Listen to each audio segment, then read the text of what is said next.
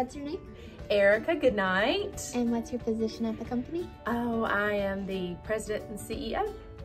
Okay. And what's your background? How did you get into the lumber business? Well, that's a good story. So my dad started this business back in 86. So actually the year that I was born.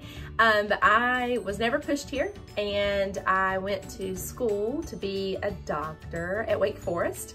Um, but decided at the end of that journey that that really isn't what I wanted to do. And so I went on and got my master's degree and at the end of that, my dad asked if I would like to come work here. And I said, well, might as well try it. I'm an only child and I kind of wanted to see what it was all about. So that's how I ended up here about three years ago. Um, my husband and I purchased the company from my mom and dad. And that's what landed me my new title.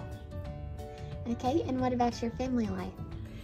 So I have um, my husband, of course, who will be interviewed uh, in a different video, and I have two children, uh, two boys, ages nine and six currently. And a whole lot of dogs. And a whole lot of dogs and some cats. And we uh, live in a little house, and so it's a big happy family and a little house. Do you plan on passing down the business to your sons? I would like that. Um, the nine-year-old has zero interest in it right now. Um, he has interest in animals, so maybe he'll end up doing something in zoology. I don't know. Um, and then the six-year-old, he says that he wants to be a lumberjack, but I don't really think he knows what that means at this point.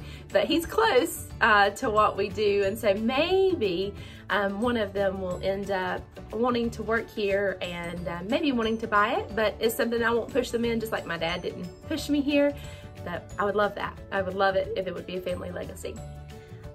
What do you do when you're not running the company? Oh, we love to travel. So we've traveled a lot with our children, both internationally and within the United States. And that's definitely a passion of ours, of seeing new places all the time.